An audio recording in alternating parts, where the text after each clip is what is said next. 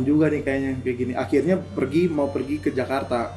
Kan cuma harus butuh modal. Nah bapak saranin yaudah kamu kalau mau ah, dapat modal ya kamu kerja di jaga walet di alam goa. Oh, makanya dalam goa itu. Iya, jadi kita jagain deh, jagain sarang walet.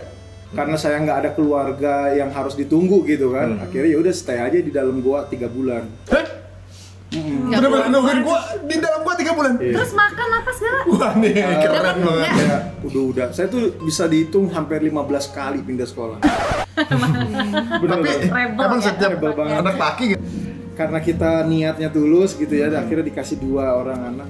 Tapi ternyata berbalik gitu kan Iya. dari yang awal nggak seperti dugaan bersyukur ya. ternyata nggak se- nggak sesuai dugaan Hmm. udah mau lahir kelahirannya itu udah tinggal seminggu lagi ya Udah ternyata tujuh bulan Iya, Mau tujuh tujuh bulan. bulan ternyata meninggal gitu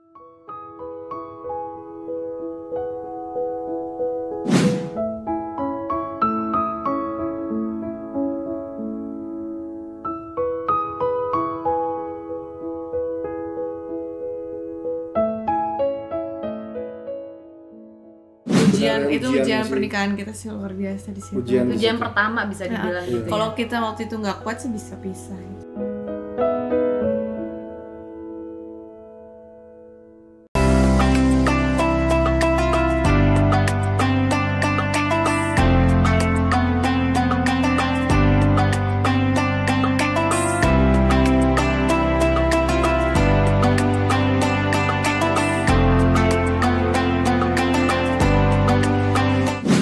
Terus juga kita kan kayak bandel gitu kan merantau cari terus mana-mana ya cari perhatian Iya. gitu kan bandel cari perhatian ya, sebenarnya. umur umurnya lah gitu Iya. ya. Merantau dia tuh pengen kayak merantau juga, pengen kayak Iko juga loh. Dia Oh itu beda pak. Itu Tapi emang silat merantau. dulunya. sama juga Silat juga. Oh. iya Silat. jadi ceritanya tuh karena sekolah bandel akhirnya bapak mu- mutusin untuk tinggal di kampung Oh.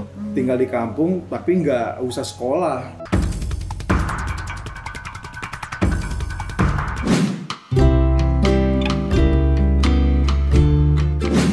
bener-bener sekolah alam lah ibaratnya kayak belajar em, motong getah gitu kan. Terus nyari duit sendiri kayak harus nyetak batako ambil pasir gitu kan. Hmm. Em, semua hal kayak berladang berkebun gitu. Jadi kayak belajar tentang alam kayak sampai mikir kan nggak ada kegiatan lain. Akhirnya kebetulan kakek juga seorang datuk gitu kan jadi yang guru silat. Akhirnya belajar silat lah.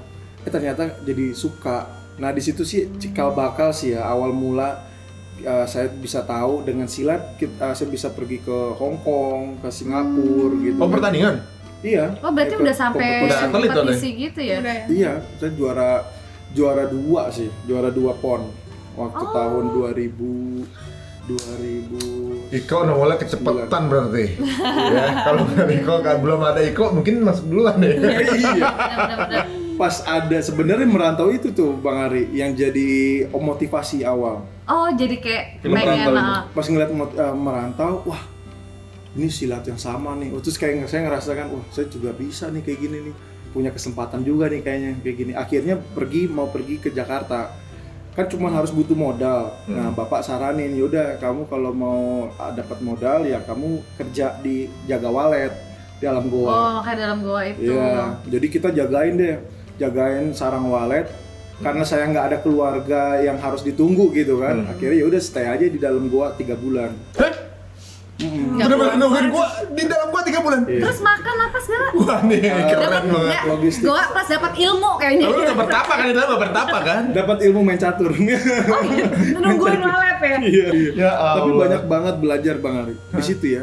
eh, Arti memang manusia kayak gimana manusia makhluk, makhluk yang sempurna banget kayak kita tuh di dalam goa kan gelap tuh nggak ada nggak ada Pencahayaan cahaya segala macam karena udah lama di situ kayak kita bisa ngelihat mata kita Oh, emang jadi bisa dia terang. apa jadi kayak hmm. Jadi kayak iya bener kita kan kayak Gelap bisa tapi jadi mati lampu. jadi bisa ngelihat Ya kayak iya. mati lampu aja kan kita pas pertama gelap kan banget lama-lama kayak jadi kayak terang ya. jadi terang jadi kayak wah luar biasa nah cuma sebaliknya pas keluar dari goa itu waktu kena matahari itu langsung silo bengkak. gitu ya. mata bengkak kayak nggak bisa ngelihat Jadi ini. vampir ya, nggak bisa lihat gitu. lembab gitu kan soalnya di dalam gitu kan. Iya, Itu benar tiga bulan nggak keluar. tiga bulan iya. Tiga bulan nggak keluar. Ada yang ngirimin makanan tapi ya kirim sih ya, logistik tiap logistik tiap hari. Lewat apa itu logistiknya lewat orang kurir kayak jalan gitu kan belum ada gojek belum ada ojek Tapi jauh dari kampung jauh ya.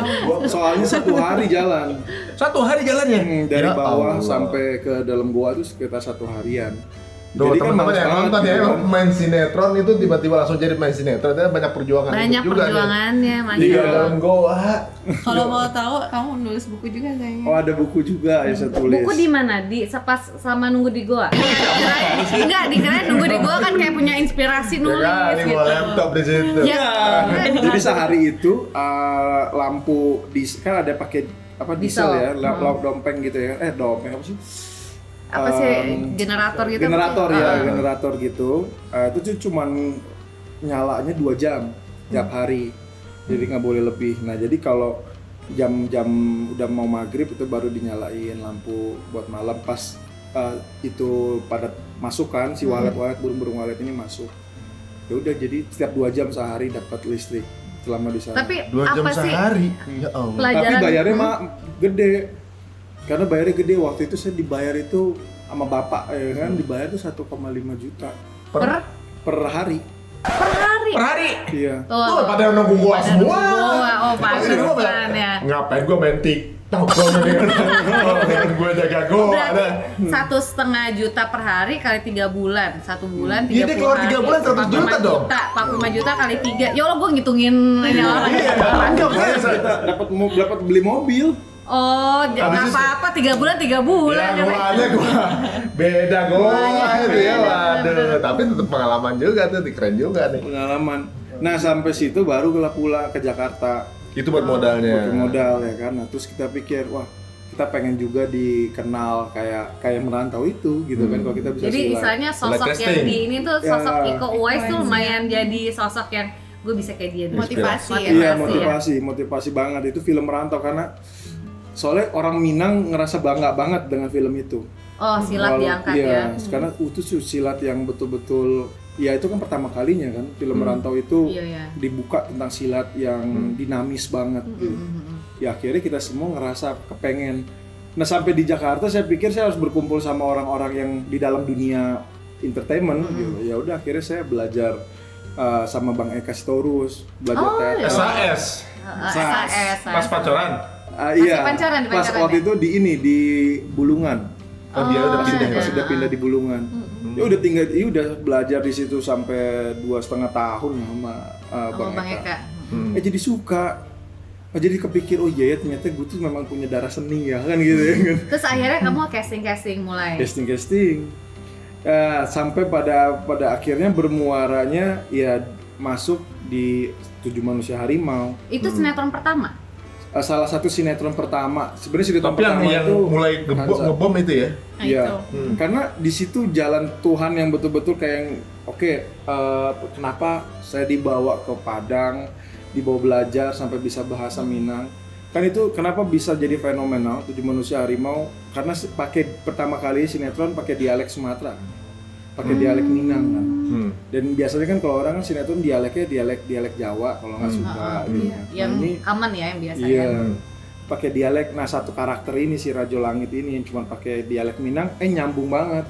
Jadi seluruh Sumatera itu kayak Bangga ada juga kebanggaan gitu sendiri. ya. Iya. Makanya jadi kayak Gimana tuh orang tua gimana? Anak anak ambo di Jakarta ini Iya. jangan di Bintang ini gitu. "Wah, iya. Ini loh kan loh kan ambo ya. Beda pak makanya belajar pak. beda beda beda. Iya. Terus gimana orang tua maksudnya merantau jadi juga tuh gimana?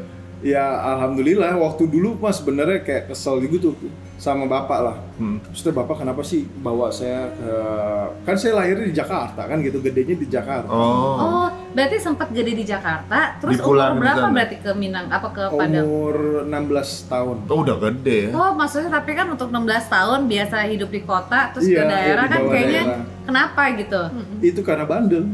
Oh. karena bandel kayak udah udah saya tuh bisa dihitung hampir 15 kali pindah sekolah bener Tapi bener. Rebel emang ya. setiap Rebel banget. anak laki gitu ya ada satu momen itunya dia pulang ke Padang itu kayak momen kayak pesantrennya gitu loh. Iya, Iya, ada contohnya, ada iya, momen iya. dia harus dilepas dulu sendiri Oh. gitu kan, di, Iya. dilepas ke berjuang sendiri gitu. Berarti berapa tahun di Padang? dua setengah tahunan Oh dua setengah tahun terus setengah akhirnya tahun. mutusin lagi untuk pergi sendiri pergi ke sendiri Jakarta. pulang Berarti kan Jakarta. tanpa sama ayah kan berarti ya. iya Terus di situ sendiri. emang niat eh, oke mau merantau juga di Hmm. di Jakarta gitu. Hmm. Jatuhnya kan merantau jadi ya Betul, karena dari betul. situ merantau ke Jakarta dan memang tujuannya adalah ke entertainment. ke entertainment Malah main sinetron loh katanya Padang Gitu ya, juga. emang kayaknya emang Iya, dikasih emang- kesempatan Berarti sama dua Allah tahun ya. tuh suruh pelajari logat Belajar kayaknya. Iya. mendalami Nah, karakter. udah karakter. Jadi pas kepake banget kan ngebantu banget karakter Rajo Langit ini. Jadi makanya orang bener-bener ngeliat tuh Jatuh cinta. Rajo Langit nih kan gitu kan. Oh. Bisa tahu bla bla bla bla. Nah, itulah inti seperti itu. Oh dari situ juga akhirnya Ketemu. ada lagi sinetron Ah. dan akhirnya mempertemukan istri di situ ya. Wah. Ini luar biasa. Terus kita juga sempat lihat kan eh, lamaran yang sempat epic banget. Lamaran atau tunangan sih lamaran deh. Eh, waktu itu apa sih yang, sempat ba- heboh pakai- banget? yang di lokasi syuting yang pakai Oh iya iya. lamaran. itu yang nonton sampai 7 juta orang gitu kan. Iya iya. Wah, heboh banget. Tapi emang ini sih apa namanya Tachi sih momen itu. itu. Dia idenya siapa tuh? Oh itu ide pertama kali buat surprise yang berhasil tuh. Itu loh. Lu bilang lo nggak usah surprise. Itu justru surprise itu berhasil. Berhasil tuh sekali. Baru setelah nikah baru bagiannya gitu. Nggak ada lagi, nggak bisa lagi berhasil ya. Udah cukup istri aja deh yang kasih surprise Itu ya. emang di lokasi syuting. Ya. Jadi kita pakai ini uh, mop ya, Dance mob ya. dance mop. Jadi uh, ada 100 orang. Aha. Awalnya dia jadi kayak pura-puranya pagi jadi Extras. ekstras. Hmm. Ekstras dulu biar uh, Iris kayak udah tahu gitu kan orang-orang ngeliat orang-orang ini. Nanti tes terus tiba-tiba pas lagi waktu udah mau mulai untuk surprise-nya yang orang-orang semua pada berhenti gitu. Ha-ha. Semua waktu tuh kayak seakan-akan berhenti, nge-freeze. gitu. ha. Kan bikin dikaget kan pas dia lagi jalan. Ini kenapa nih orang-orang pada berhenti Pada diem semua, gitu, pada ha. diem Oh, gitu. nge-freeze bener-bener Iya Ya nge-freeze kan gitu, zaman itu dance berhenti. ini banget ya. ha. Kayak Terus gitu terus kan. terus, terus. Dia kaget gitu kan, kaget tuh tiba-tiba dia pada nari-nari, nari-nari deh kan gitu. Oh. Dan dan dan dan dance gitu. Ya udah akhirnya tuh saya kayak kasih ada suara doang gitu kan, ada suara tapi kita ngumpet di mana. Mhm. Sampai pada akhirnya ya udah ketemu. Ngelamar deh sih. Lamar deh, will you marry me? Oh, sweet Wah. banget. Seru-seru. Udah pernah ada gitu belum sebelumnya? Oh enggak. enggak. Udah, jadi ini first time ya. First time. Terus dilamar lagi. Oh, Jadi kayak momen terindah banget. Dari lamaran ke nikah berapa lama tuh? Tiga bulan. Iya, tiga bulan. cepet ya, cepet juga ya. Iya. Nah, terus menikah ya, udah eh, akhirnya setelah obrolan yang intens, tadi mutusin untuk nikah. Terus alhamdulillah kalian juga langsung dikaruniain saat itu. Aku inget banget pas pertama kali di kajian musyawarah, Amar tuh sempat bilang tuh pas Ustadz, eh, Ustadz tadi apa Ustadz eh, Abdul Somad ya Abdul waktu itu? Somad apa ya? Uas atau pokoknya yang cerita alhamdulillah saya udah nikah, istri saya ada di situ. Kan itu baru-baru nikah banget Baru kan. nikah. Terus Ibel 19 baru ya? 19 eh, ya? langsung dikaruniai eh, hamil segala macam. Itu gimana tuh perasaannya tuh sampai akhirnya berdua sama-sama datang ke kajian gitu. Kita pertama ini ya, Yang ya. uh, karena kesepakatan kita mau betul-betul uh, memperbaiki diri gitu kan. Uh, kita sama-sama menikah dan ketika kita sudah menikah, alhamdulillah langsung dikaruniai anak kembar pula. Hmm. Iya. Kita nggak punya gen kembar, Iris juga nggak ada ke gen kembar. Ini di- bisa dipertemukan perempuan juga lagi kan, Hmm. dua perempuan Sempet deg-degan. aktif. Wah itu kayak bener-bener waktu itu kita happy banget. Hmm. kayak ya Allah ini memang hadiah gitu kan kayak Allah, ya. hadiah banget nih dari Allah Subhanahu wa taala kita bisa sampai karena kita niatnya tulus gitu ya dan akhirnya dikasih dua orang anak. Tapi ternyata berbalik gitu kan Iya. dari yang awal Nggak seperti dugaan. bersyukur ya. ternyata nggak se- nggak sesuai dugaan. Hmm. Udah mau lahir, kelahirannya itu udah tinggal seminggu lagi ya Enggak, ternyata tujuh bulan. saya. iya, Mau tujuh bulan. ternyata meninggal gitu.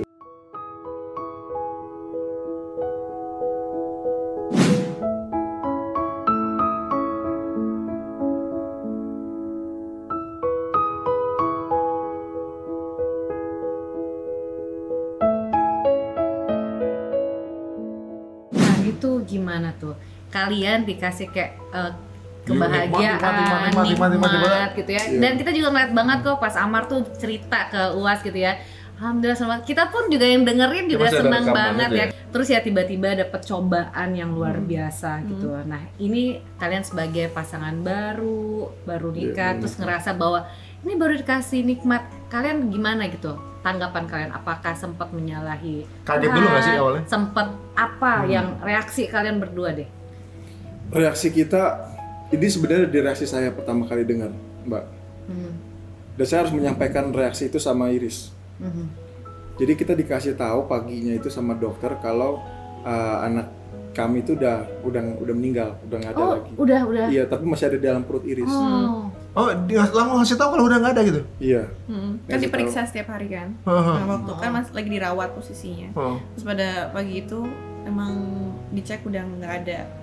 Tapi si dokternya nggak bilang. Jadi setelah di USG terus dia minta keluar Oh, pengen Jadi- ngobrol langsung sama, sama, Elmar aja. iya, Hmm. sama suami katanya. Boleh ngobrol sama suami ya udah keluar.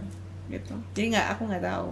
di situ saya Aha. saya cuma bengong gitu kan kaget terus saya harus menyampaikan nama Iris untuk segera disesar kan untuk dikeluarin karena ya kalau terlalu lama nanti pecah eh, ininya kan ketuban tuh bisa pokoknya ke da- eh, ke paru-parunya itu iris ngefek semuanya. sih ngefek ke, ke Hmm. tubuh aku Hmm. Oh, gitu. intinya harus ada tindakan lah Tindakan, segera iya. gitu entah ya. paru-parunya kenapa gitu ya dan eh, ininya 50% apa kemungkinan Iris bisa selamat Hmm. Oh, iya bisa itu sempat di, ya. disampein iya sama karena udah dokter. pecah dia di dalam Ya, pokoknya nggak ada nggak pecah atau apa Hmm. tapi intinya udah harus ditepet-tepet dikeluarin Hmm. lah gitu Hmm. iya Nah, terus kamu gimana nyampein ke Iris? Karena kan pasti ya namanya anak pertama, Hmm. kita juga masih penuh pengharapan kan, penuh ya. pengharapan dan lain Udah sebagainya. tujuh bulan. tapi itu udah bolak-balik eh, rumah sakit terus sih jadi emang kalau aku sih kayak udah ada Pasrah firasat, gitu, udah ikhlas udah gitu ya. pasrah gitu tapi aku belum dapet kabar kalau udah nggak ada Hmm. gitu. kita nyampeinnya waktu itu cuman cuman kita main mata aja saya nggak bisa nggak nggak kuat gimana caranya harus Nggak kuat untuk menyampaikan ngomong gitu. Iya gimana caranya harus menyampaikan ke Mama Iris Iris eh, saya eh, anak kita udah nggak ada. Ada. tapi masih dalam perut kan gitu. Oh, terus? Masih dalam tubuhnya dia gitu kan tapi Oh. udah nggak hidup lagi nggak bernyawa lagi gitu kan. Jadi kayak duh gimana ya ya kan caranya. Tapi untungnya Iris sudah bisa mengerti. Di sini sih ketegaran ya. Ketegarannya Iris sih luar biasa sih. Saya harus acungin jempol yang pas saya cuman buka pintu saya langsung cuman bisa nangis doang gitu kan kayak nggak bisa nggak bisa ngomong ngomong kalau itu udah meninggal nggak anak ada. kita. ya Iris cuman cuman cuma senyum aja gitu senyum kayak Iya, Ya juga udah. nangis udah ya udah.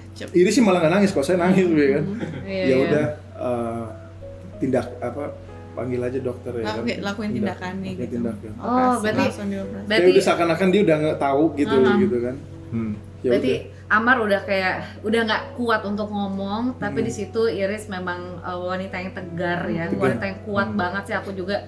Waktu itu kita juga sempat ketemu kan, yang Iya, habis iya. kejadian uh, kita mau menghibur Iris, Hmm. cuma kayak ya pasti kalau kita ketemu pasti kan aduh Ada pasti kan ngomong kan gimana gitu kan. gitu tapi di situ juga bisa terlihat uh, Iris wanita yang Hmm. tegar banget jadi waktu itu langsung tindakan Hmm. terus tindakan itu udah ada ada namanya juga ya Udah. Ada dikasih nama kan, maksudnya Udah. Ayona, Ayora Ayona sama Ayona. Ayora, gitu. Ayora Khadijah Bella Akbar sama Ayona Aisyah, Aisyah. Bella Akbar Itu ada artinya ada Ayora Ayora Ayona itu intinya cantik, Cantik ya. gitu ya. itu cantik. udah kalian siapin memang nama Udah, itu udah. Hmm. jadi memang ya pasti harapan besar ya Mm-mm. terus Uh, Ibel gimana siapa pas waktu siapa tahu ya suatu saat nanti itu Ya, Ayona Ayona ya, ini ya. Ayona Ayona eh papa mama aku nunggu gitu kan iya. Luar biasa. Amin Heeh. terus Itu- kamu gimana Ibel yang bikin kamu tegar bikin kamu kuat itu Heeh. apa sih Saat itu sih karena ngeliat suami kan, dia tuh udah uh, broken down banget ya udah nangisnya bercucuran udah gitu kan badan besar bayangin kan nangisnya suaranya kayak apa. Jadi aku aku ngerasa di situ aku nggak boleh kayak dia juga. Paling nggak ada salah satu dari kita yang, yang bisa nguatin harus Heeh. kuat gitu. Dan emang waktu itu kan posisinya aku juga harus operasi lagi kan. Harus di sedate lagi harus or- harus jalanin operasi. Sesa kan cukup besar juga gitu. Hmm. jadi ya udah pokoknya lakuin apa yang harus dilakuin. Hmm. pokoknya lakuin gitu. Tapi ya justru kebalikannya saat pulang ke rumah baru aku gantian aku yang hancur dianya yang berusaha tegarin gitu. oh ya itu Berapa dia ya lama suami kalian istri ya sampai akhirnya benar-benar recovery Oh. itu lama Proses- sampai prosesnya prosesnya sampai luar biasa. akhirnya di situ sih ujian itu ujian sih. pernikahan kita sih luar biasa di situ Ujian. ujian pertama bisa dibilang Iya. gitu ya. kalau kita waktu itu nggak kuat sih bisa pisah gitu tapi Iya. sempat konflik oh luar biasa maksudnya kan ya pak manusia ya kita Mm-mm. bicara manusia pasti kan ada yang pengen disalahin ada sosok yang maksudnya kayak ini karena kamu Mm-mm. gini atau atau nah apa?" itu, ada ada juga ada, di uh, dari kita berdua dari keluarga apalagi kan namanya dua keluarga Eh, akhirnya disatukan pas disatukan dapat berita buruk kan Hmm. jadi yang ini nyalahin ini yang ini nyalahin ini ini kita nggak terima dengan egonya masing-masing apa segala macam jadi perang udah Hmm. di situ perang luar biasa. Itu jadi berat. setiap tuh. hari kerjaan aku juga nangis nangis operasi masih Sakit, sakit, gitu kan jadi kayak nggak sembuh sembuh Udah gitu tujuh bulan di berantem terus gitu kan wah itu, itu luar biasa sih Aduh, iya. biasa. Berantemnya berapa sama- bulan? Sama mertua. Berapa Iya. bulan? tua Ini sama keluarga gara-gara berantem misalnya eh, marah sama mer- eh, misalnya eh, bang Amar marah sama mertua aku juga marah sama keluarga jadi kan kita kan loh itu keluargaku kok Iya, Wow. kita jadi kayak ngebelain jadi wah itu sih lumayan berat banget. Tapi memang ya. itu konflik semua keluarga akan begitu sih maksudnya emang akan. Tapi Ya. masalah Mm-mm. ini kan cobaan besar, dita- jadi ada tambah konflik jadi komplikasi gitu kan. Luar Udah Iya, itu secara pribadi hubungan juga, keluarga juga tuh kayaknya tapi baru kalian- berkeluarga langsung multiple cobaannya Iya. di awal. Mudah-mudahan Di awal. cobaan terberat di awal, habis itu yang ringan-ringan sisanya ya. Amin. Tapi kalian luar biasa loh. Maksudnya ya kita kan memang tahu saat itu kalian lagi dicoba gitu ya, Mhm. dapat ujian yang luar biasa banget. Tapi kalian membungkus ujian itu dengan sangat baik sekali gitu alhamdulillah. Alhamdulillah. Karena ya sama sekali nggak keluar di media tentang ya Konfliknya ada ya. konflik yang ada yang kalian ceritain sekarang ini kan nggak ada. Kalau Iya. kalian sendiri cerita, ya kita juga nggak tahu Hmm. gitu. Tapi kalian ngebungkus semuanya itu karena eh, tujuannya ya pengen bareng gitu. Iya. Tapi apa sih yang membuat kalian tuh akhirnya kayak saling kuat? Apalagi namanya kalian baru Hmm. bisa dibilang kalau misalnya kalian menyerah give up gitu ya. Ya udah ya udah kan Iya. masih Ah, baru masih gitu. baru Nggak ada juga, anak ini nggak gitu ada kan. anak, nggak ada Hmm. apa gitu. Apa yang membuat kalian kayak Tetap kuat, solid, mau orang tua mau ngomong apa kalian tetap jalanin aja gitu.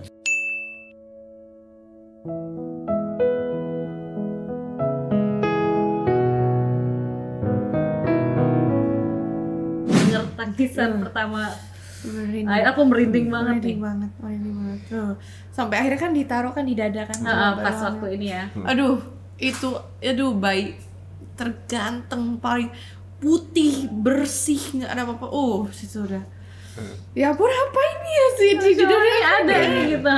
soalnya kan waktu hamil juga nggak nggak kayak Berharap kalau yang kedua, eh pertama kan berharap sekali ah, kan. kalau ini tuh nggak terlalu Kita- berharap gitu oh ya Iya. udah nikmatin aja tapi nggak yang kayak nggak yang oh dinanti nanti takut banget. kecewa takut kecewa ya. lagi gitu kan. Jadi udah pas aja tuh pas ada taruh di dada gitu kan. Aduh ya Allah